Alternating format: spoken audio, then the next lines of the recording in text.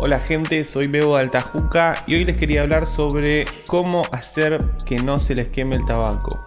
Es importante saber que existen diferencias en cuanto a lo que es resistencia al calor de las diferentes marcas de tabaco. Existen tabacos negros que son en base a hojas de tabaco estilo Burley. Son tabacos que tienen más intensidad de nicotina y muchas veces más intensidad de sabor también.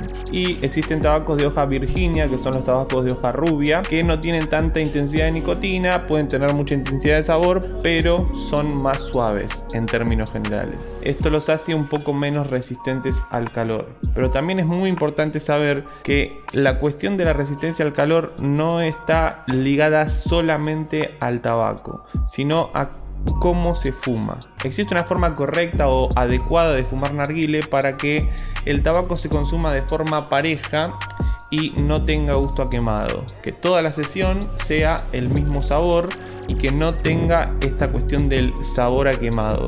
Una sesión de narguile no tiene que saber a quemado ni al principio, ni a la mitad, ni al final.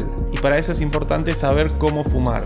Las caladas o las inhaladas se hacen profundamente hacia el pulmón y se saca todo el humo, no se retiene el humo. Tampoco hay que fumar suavecito, así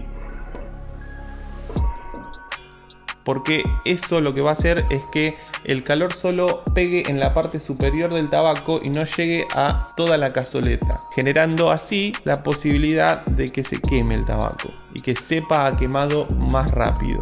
Entonces, es importante que si ustedes le invitan narguile o juca a alguien, le hagan una pequeña introducción a cómo se fuma.